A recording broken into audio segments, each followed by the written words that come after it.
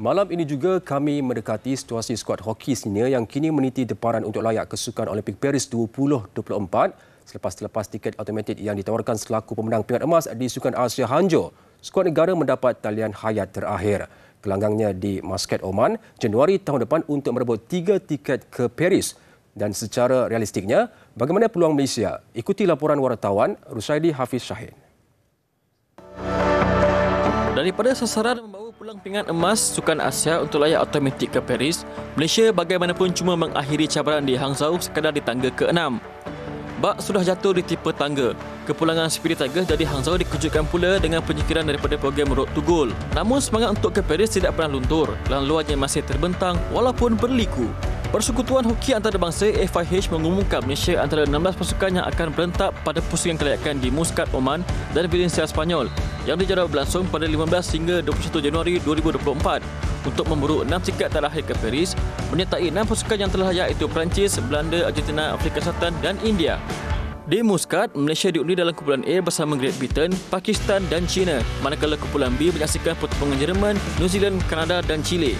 Dua pasukan tangga tak atas setiap kumpulan akan mara ke separuh akhir dan yang berjaya ke final secara automatik mendapat tiket ke Paris. Manakala kedudukan ketiga mengiringi pasukan finalis ketemasya sukan berprestij itu.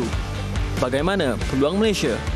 Of course, it's a do or die. Ramai pemain-pemain di sini yang dah bermain lama untuk pasukan kebangsaan. So, untuk saya, uh, coach dan orang luar dan sesiapa pun boleh bagi uh, motivasi tapi saya rasa motivasi yang paling paling tinggi dan paling penting adalah motivasi diri kamu sendiri. Bagi pengurus pasukan Datuk Minawan Nawawi, bekas kota pasukan yang pernah beraksi di Sukan Olimpik, belum memahami keinginan tinggi pemain untuk layak. Ah, saya pasti semua pemain-pemain ah, pasukan hoki negara ini ah, menyimpan hasrat untuk layak ke Sukan Olimpik. Semua atlet-atlet di dalam dunia ini semua ingin layak ke apa ni Sukan Olimpik dan saya saya percaya pemain-pemain ini semua uh, mereka bekerja begitu keras dengan uh, disiplin, komitmen yang begitu tinggi. Pemain juga tidak pernah mengaku kalah selagi ada kesempatan, peluang yang ada tidak akan dipersia-siakan. Bukan masanya untuk melayan tekanan yang sememangnya akan sentiasa mengekori pada saat mencabar ini. Kita perlu buat uh, yang terbaik lah. Especially kita tak boleh uh, buat uh, mistake yang yang yang menyebabkan kita kita akan kalah. Bagi saya, uh, tournament yang dekat Anzo tu dia membakar sedikit sebanyak uh, motivasi kita untuk ke qualifier seterusnya. Sejak 1996 termasyar di Australia, pasukan kemasaan pernah 9 kali layak dengan pencapaian terbaik pada 1972 di Munich, Malaysia di tangga ke-8. Apapun, memang tinggi impian rakyat Malaysia khasnya peminat sukan hoki tanah air untuk menyaksikan seterusnya meraihkan kejayaan Spirit Tigers semara ke Sukan Olimpik Paris.